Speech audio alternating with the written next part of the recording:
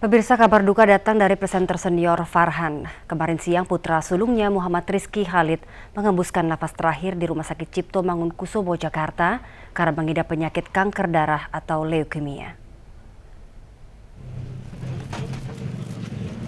Suasana duka masih menyelimuti keluarga presenter kondang Muhammad Farhan.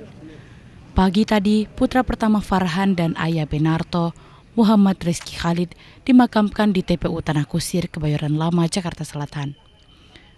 Kemarin siang, Muhammad Rizky Khalid yang dikenal pria ini tutup usia di usia yang masih begitu belia 16 tahun. Kita sendiri tidak kita sendiri tidak pernah dengar Kiki sakit. Biasanya Farhan suka berbagi gitu loh. Tapi tiba-tiba keadaannya memang begitu cepat.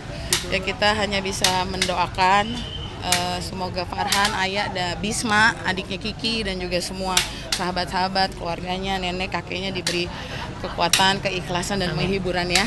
Ya, dan ya, juga begitu. almarhum juga dilapangkan kuburnya di Kiki sempat mengalami koma selama 8 hari hingga akhirnya menyerah pada penyakit kanker darah atau leukemia yang dideritanya. Tim Liputan MNC Media melaporkan.